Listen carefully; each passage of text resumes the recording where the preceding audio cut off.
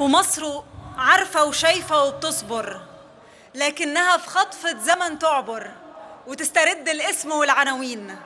ده كلام الخال الأبنودي عن مصر وإحنا بنقول إن مصر بتسترد اسمها وعنوانها عشان تبقى مصر بلدنا القوية الجميلة المتطورة زي ما كلنا بنحبها. مصر بتسترد اسمها وعنوانها لما قرر الرئيس عبد الفتاح السيسي رئيس الجمهورية إنه يقتحم المشكلات وتحديات كتيرة. أهمها إنه يقتحم مشكلة الفقر والعوز. مصر بتسترد الاسم والعنوان وهي بقائدها وحكومتها وشبابها عايزة توفر للمصريين. حياة كريمة.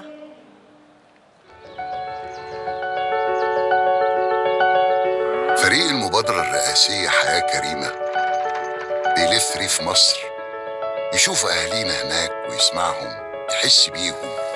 ويرصد همومهم بيبذل مجهود ويتعب عشان يشيل الحمل عنهم ويرجع الضحكة لوشوشهم. ده حصل مع أكتر من 750 ألف أسرة في كل محافظات مصر.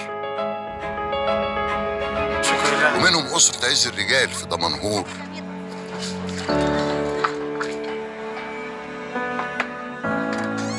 محمد في بني سويف. ما إحنا إحنا هدفنا إن إحنا إن أنت ترسم السعاده على العالم لكن من أيام قليلة حالهم كان غير الحال.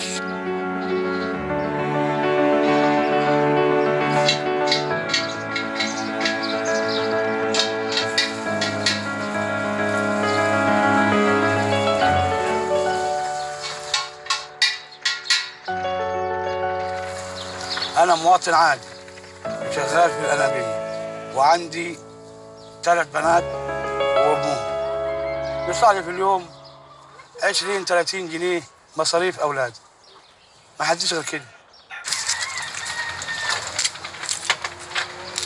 يوم 14 ستة زي دلوقتي كده وأنا صليت العصر قعدت في الصالة شوية بصيت لقيت السلم بالبسطة جه نازل.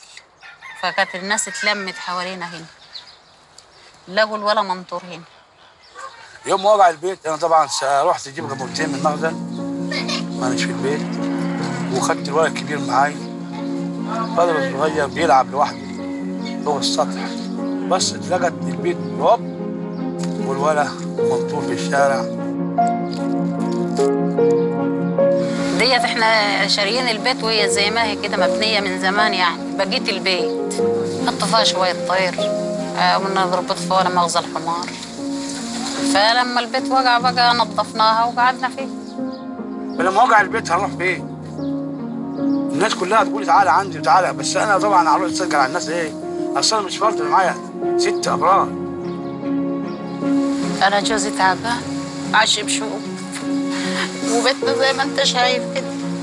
وإحنا أسرة. 20 جنيه ولا 30 جنيه يعملوا لنا إيه في اليوم؟ بس إحنا الحمد لله ربنا وشكرا بفضله برضه.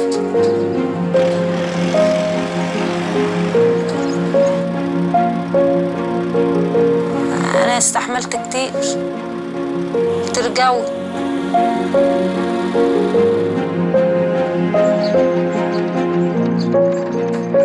خدت الراجل ده وخدمته على قد ما يمكن. كان شديد كانش كده. جه تعب. عيان ادري عشر سنين. وباخد علاج ماشي على العلاج وأنا راجل تعبان عيان. مش بقدر أجيب العلاج ده تقيل علاج غير دي خدت حقنة. كل يوم باخد حقنة ما خدتش حقنة. ما أقدرش يقومني ابدا إحنا وديناه للدكاترة كل ما نكشف عليه يقول لي يقولك عنده قولون عصبي واللي يقولك عنده تضخم في الكبد. أنا بقيت أطلع البيت أشتغل واشيل تبن واشيل غله وأغسل بطاطين للناس. لما طلعت ولادي دول وعلمتهم احسن علام عمر ما رحت لحد على باب مهما يكون جعانة. إحنا أنا ربنا. بقول لي يا محمد يا أصيلة. هي الشيلان هي بتجري عليا. والحمد لله على كده.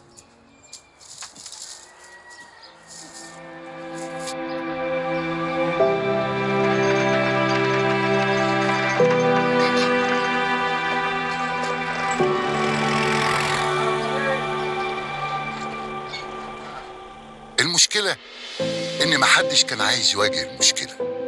يمكن كان في تعاطف يمكن كان في مجهودات لجمع تبرعات لكن ما كانش في قرار قرار جذري لتحسين حياة أهالينا.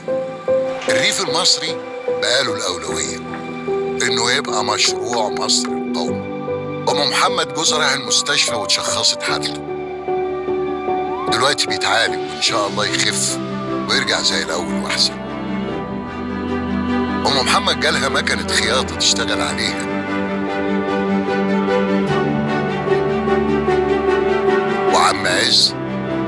بيته بيتسقف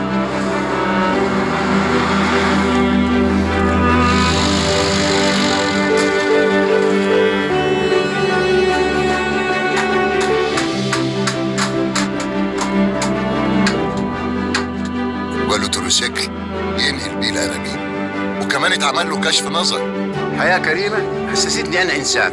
دي مبادرة من ست الرئيس بصراحة ما حدش ينساها أبدا. يعني حياة كريمة على مستوى الجمهورية عملت شغل عملاق كبير. إحنا بقينا بني آدمين وحياة أي حياة. كريمة ينصر ربنا ويخليه عشان هو عمل الحاجات الحلوة دي. أشرقت الشمس بعد ظلام على مصر وعلى الصيد يكفيني إنه بدل ما يدوني فلوس علموني الصلاة فتح بيتي حياة كريمة بنت بيوت تشطيب كامل حمام مطبخ أوضتين وصالة. ما اكبر أنا هشتغل مع حياة كريم. تحيا مصر تحيا حياة كريمة